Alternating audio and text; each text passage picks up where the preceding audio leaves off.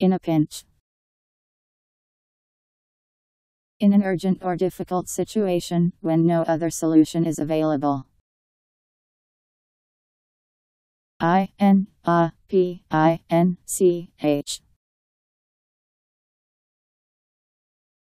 In a pinch.